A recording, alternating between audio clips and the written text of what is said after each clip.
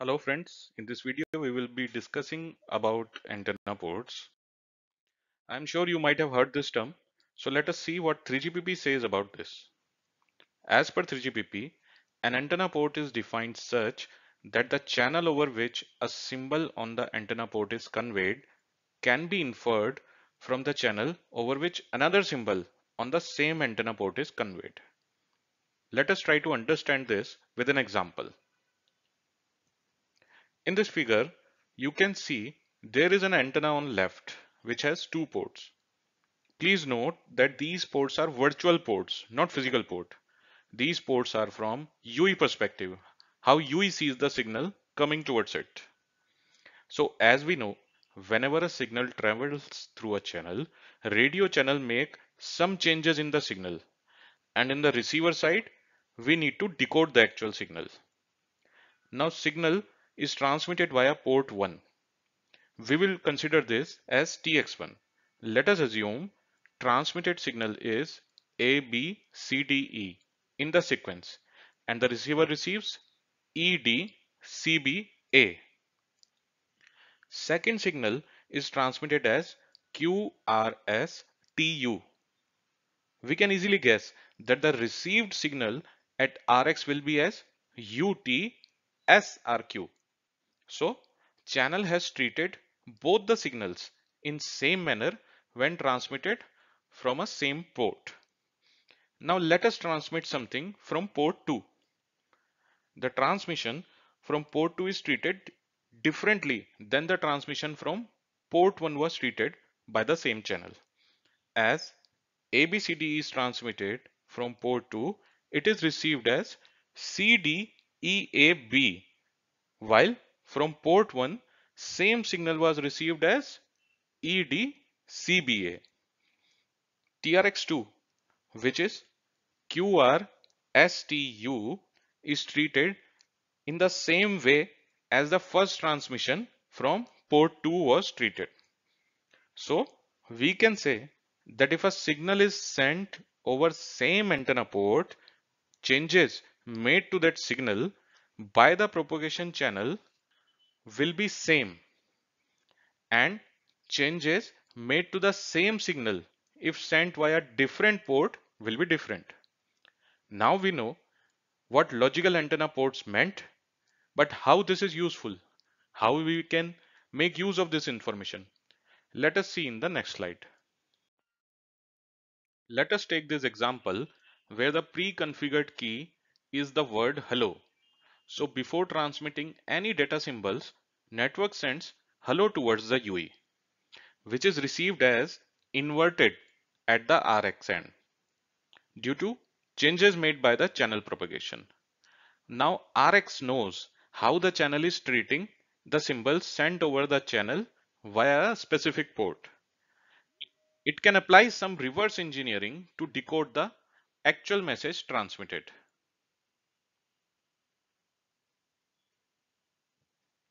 How we realize this in 5G network is by sending DMRS, demodulation reference signal and PDSCH via same antenna port. In this way, UE can decode information about the propagation channel by reading the DMRS first and applying the same information to decode the actual data transmitted on PDSCH transmission. Please note, these reference signal are sequences that are known to the UE. The UE compares the received version of the sequence with the known reference to estimate the impact of the propagation channel. The UE can then apply an inverse of the propagation channel during the demodulation process. There can be another use of logical antenna ports where we can get benefit of sending data over different antenna ports. In example shown, we need to send a message, hello amigos. We can send the message using the same set of PRBs, time and frequency resources, but using different antenna ports. Different antenna ports means different data streams. So actually, we are able to send double the data using double stream. There can be more number of streams depending on the number of antenna ports used. Let us discuss how physical antenna elements and antenna ports are mapped with each other. Before that, let us briefly discuss about the 5G antenna modeling. This is how an antenna panel array looks like. The antenna is modeled by a uniform rectangular panel array comprising of MG NG panel. MG is number of panels in a column. NG is number of panels in a row. Each panel array have multiple antenna arrays. The configuration of an antenna array model is represented by M and P. M is the number of antenna elements with the same polarization in each column. N is the number of columns and P is the number of polarization dimensions. So this is panel array. Each panel array have multiple antenna arrays and each antenna array have multiple antenna elements. Each antenna element is made up of two cross-polarized dipole antennas. A particular type of transmission uses specific antenna ports. These ports are mapped to one or more antenna elements. Example, antenna port of 1000 series is used for PDSCH, which is mapped to specific set of antenna elements. Following antenna ports naming convention is defined by 3GPP for different transmission. For example, the synchronization signals, the PBCH and PBCH demodulation reference signal use antenna port 4000. That is, all three transmissions share the same antenna port and so are transmitted such that they experience the same propagation channel. Antenna port 4000 is mapped onto a specific set of physical antenna elements which radiate across the air interface. Let us see how antenna elements and antenna ports are mapped. In this example, we have a single cross-polar antenna. This is example of 2 cross 2 MIMO. Antenna element 0 is mapped with PDSCH and DMRS for PDSCH antenna port 1000 and physical antenna element 1 is mapped with PDSCH and DMRS for PDSCH antenna port 1001.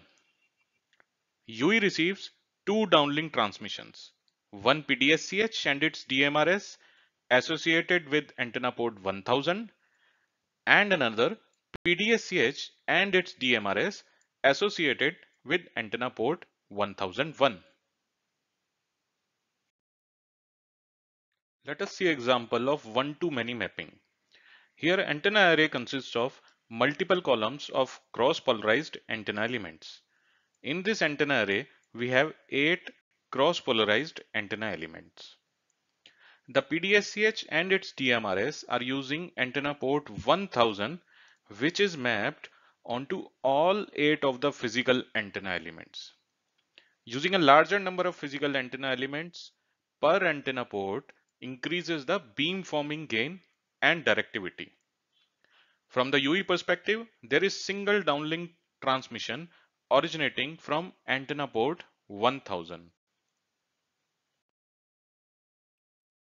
In this example, a group of antenna elements is mapped to PDSCH and DMRS for PDSCH antenna port 1000 and another group of antenna elements to PDSCH and DMRS for PDSCH antenna port 1001. UE receives signal from two antenna ports.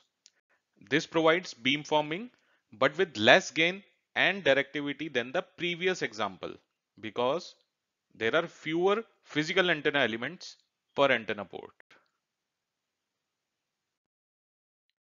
Now let us briefly discuss what are quasi-collocated antenna ports.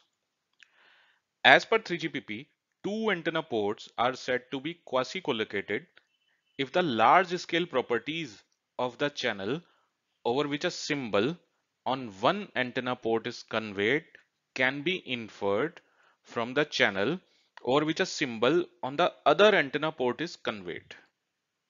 The large scale properties as per 3GPP are delay spread, Doppler spread, Doppler shift, average gain, average delay and spatial RX parameters. 3GPP has introduced quasi-collocation or QCL concept to help the UE with channel estimation, frequency offset error estimation and synchronization procedures. For example, if UE knows that the radio channels corresponding to two different antenna ports is QCL in terms of Doppler shift, then UE can determine Doppler shift for one antenna port and then apply the result on both antenna ports for the channel estimation. This avoids the UE to calculate Doppler for both antenna ports separately.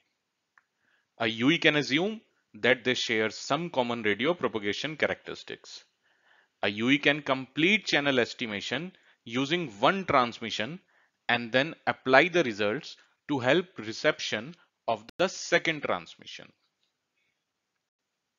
3GPP has specified the following categories of QCL to specify which radio propagation characteristics are shared between two transmissions. So there are four type of uh, QCL depending on the type of radio propagation characteristics they share.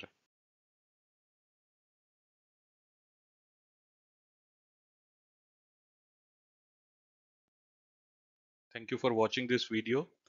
And if you like this video, please consider giving a thumbs up, share it with your friends and colleagues. I would like to mention that for this video, I have taken references from 3GPP and a book by Chris Johnson named as 5G in Bullets.